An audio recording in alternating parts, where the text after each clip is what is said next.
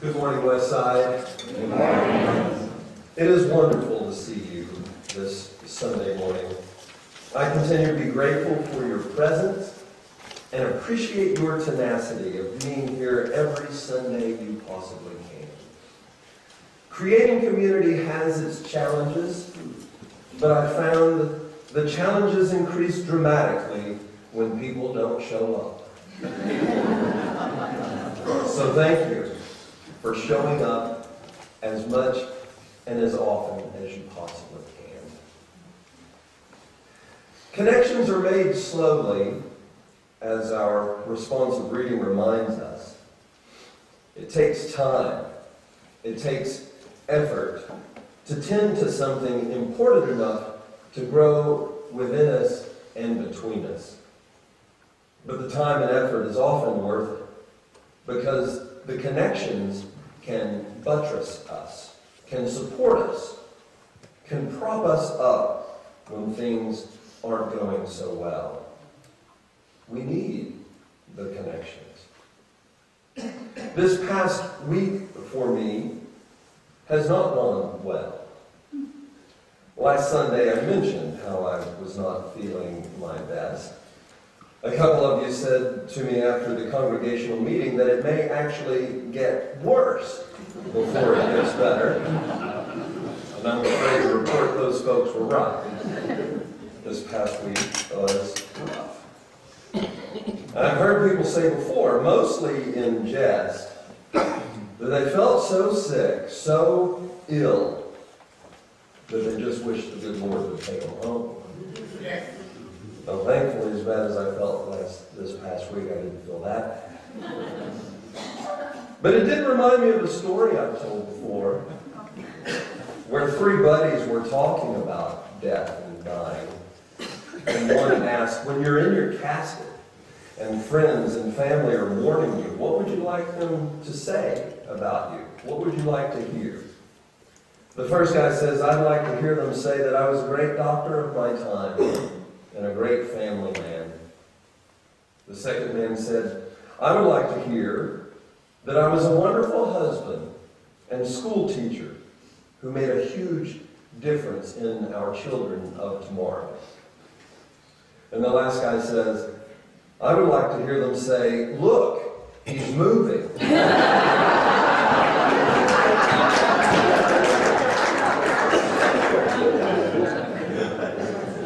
I personally believe we can make our connections most easily while we are alive, while we are still moving.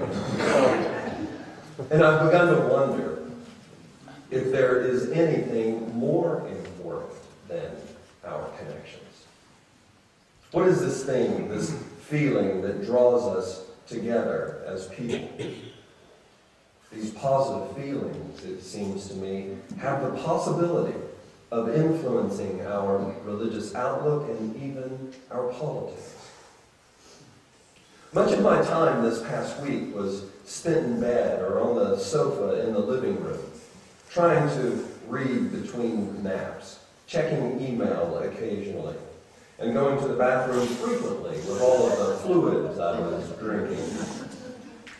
Sometimes I just had the television on for noise, and I wound up watching the memorial service for Joe Paterno, the former college football coach at Penn State University. Many of you know college football is something I admittedly spend too much time following. It's a guilty pleasure I enjoy, despite acknowledging it is not as pure as I wish it to be. And the money spent toward it these days by institutions of higher education is unjustifiable. I understand I could spend my time in more constructive ways. Yet I watch anyway. I'll not go into a lot of the detail about Paterno's memorial. If you've been following this in the news, you know there was a great deal going on with the way the man's career ended and his death only months later. But lying on my sofa, watching the emotions of the family, it was this connection, this sense of empathy that got to me. I have no idea what it means to be a Paterno, but I know what it feels like when a loved one dies. I know the sense of loss, the grief that comes and hangs around, this grief that you wish would go away, but at the same time somehow realize it is a bond with the loved one that may pass as well. So I watched these people cry. I felt something similar and I cried too. Just imagining what those folks were going through, these people I didn't even know and had never met, influenced my emotions as well. We all do this to a greater or lesser degree, but we all do it. When I officiate a wedding, I will sometimes get caught up in the feelings flying around. I know this feeling of love and cherish it and appreciate it when I see it in others. When I officiate a memorial or a funeral, it's not so much that someone has died that gets to me, though that's often tragic or sad.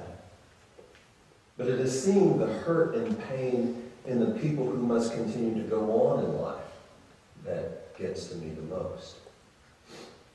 We all do this. We empathize. We put ourselves in the shoes, in the minds of another human being. And we know in our soul what that person is going through. Not always, and certainly not perfectly, but close enough for us to emote in similar ways. Yes, we all do this. Watching movies, we do the same thing. There are feel good movies which will elicit certain feelings that have us leave the theater with a lighter step in our walk. And there are tear jerkers which bring forth the saline from our eyes. It matters not whether the story is of fact or fiction. What matters is our ability to connect, to empathize with the actors on the screen. In our society, those individuals with whom we can easily connect are paid vast sums of money, and we will fork over our own dough to sit in a room full of strangers with all of their particularly odd movie watching and eating habits in order to experience a connection with the actor on the movie screen. I can be emotional. And it used to be something which troubled me quite a bit to show my emotions publicly. But it doesn't bother me as much as it used to because I now see this as a connection. I've come to believe that empathy, that ability to understand and share the feelings of another, to feel for you, may actually be one of the most important things in the world. My connection to another, or their connection to me, or both when it's really working well, is something to be nurtured rather than hinder. We feel for others. We imagine we feel with others.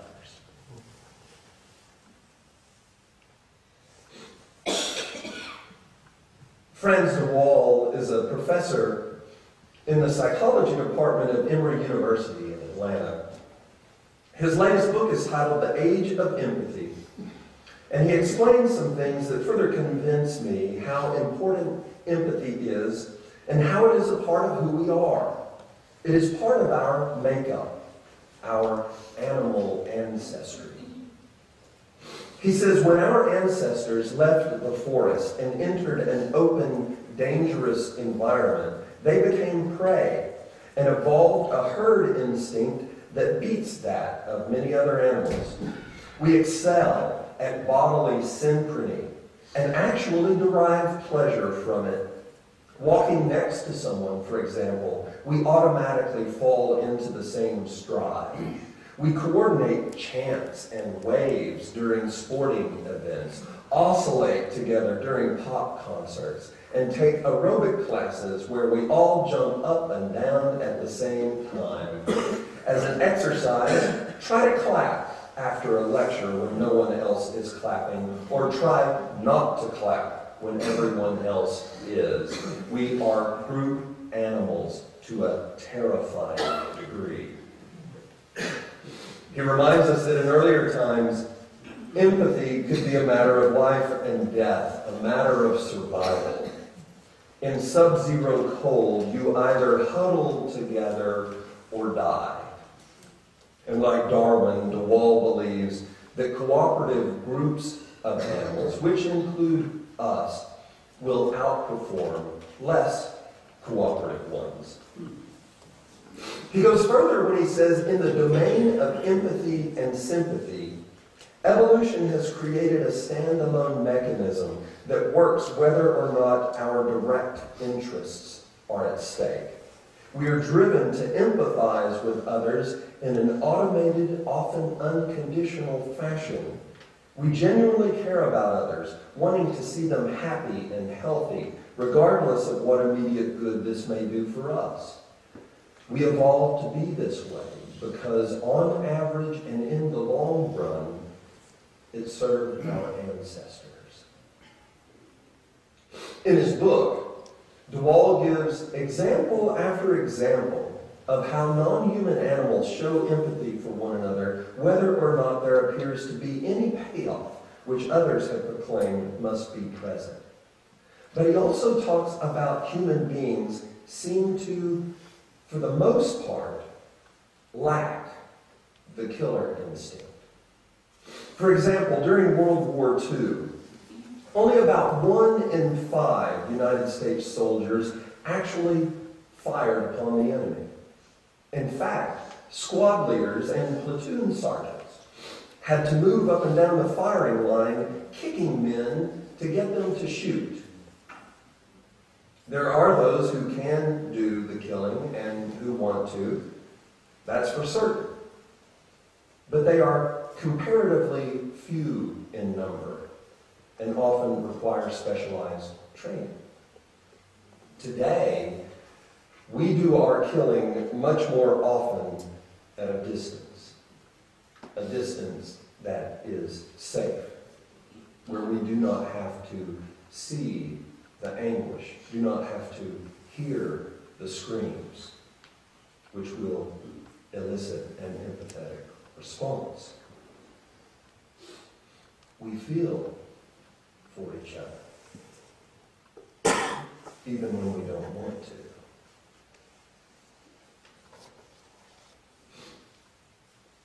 Just this week, I received an email from a woman named Karen Dawn. She's an author, and it was sent to a lot of people, not just to me. But she talked about this sort of uh, pseudo experiment conducted by NBC's Dateline some time ago. The show had an actor pretending to be hurt and crying out for help, and nearby two other actors were just hanging out and talking. In a candid camera type of situation, Dateline watched the reactions of people walking by. Almost every person, as they saw two others ignore the cries for help, just kept walking. One person in 20 stopped and then called for more help. But the email goes on to say here's the good part. Once one person stopped, every person who came into the situation afterward also stopped and was willing to get involved. The experiment seemed to show that once one person acts from an empathetic response, that others will follow. When one is willing to speak the word, others will listen. But we must be willing to take a stand and speak it in a way that others will hear. The problem, Karen Dawn says, is not that we don't have enough love, that we sometimes don't have enough empathy. The problem is that we are sometimes whispering our love. Empathy is important. It is vastly important.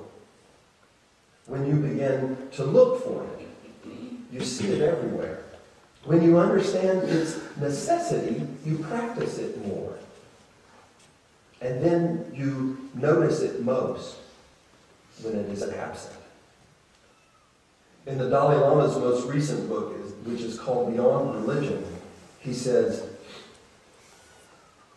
It is clear that something is seriously lacking in the way we humans are going about things. But what is it that we lack?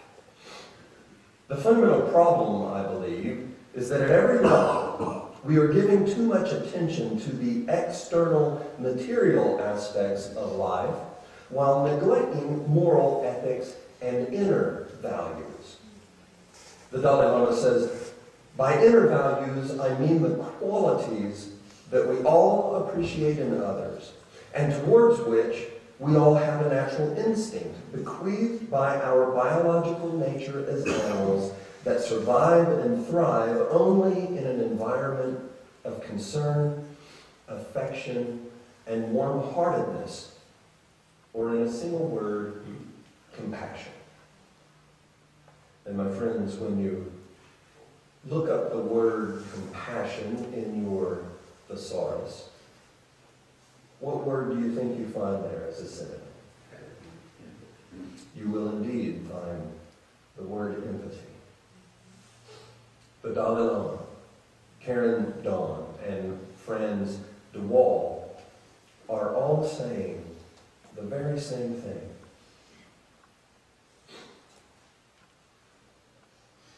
There's a funny one-liner I heard in graduate school studying counseling, which is really, like ministry, a professionalized version of empathy. It goes like this. It says, Everyone says I lack empathy, but I couldn't care less. but we do care. You and I care. This past week, I had to cancel a lot of meetings, a lot of visits I would have rather made, things I wanted to do but couldn't. Each time, whether it was a West Sider or a friend or a colleague or a family member, all of them were kind and considerate and generous. They knew what it was like not to feel well and genuinely wanted me to feel better. They were saying, I feel for. I empathize with you. Take care of yourself. Unitarian Universalism and Westside are the context within which I practice my empathy, my compassion, my love. I'm proud to say there are plenty of times in our religious history where we have been like that person in the Dateline experience who stopped to let others know there was a problem. Perhaps it's this way for you too. When we take on causes, when we march, it is because of our empathy. When we collect donations, it's because of our empathy. When we celebrate our joys, when we share each other's sorrows, it is because of our empathy. When we say, let us go in peace, believe in peace, and create empathy is there. When we say love is the doctrine of this church, empathy is there. Do not whisper your love, but actively look for places to practice your empathy in your home, in your work, in your world, and of course, in your church. That's when we're at our best, I think. We're much less likely to become angry. We're much less likely to demand our own way. We're much less likely to say something we will regret by simply putting ourselves in the shoes of another and letting the empathy flow. It's bred into us. In fact, we must choose to turn it off. But I think our life, I think our faith, is better served when we allow our empathy to burst forth. We then recognize in others what we ourselves yearn for when we say, whether out loud or to ourselves, I feel for you. As we rise in body or spirit to join together and sing our closing hymn number 148, let freedom stand for each breath.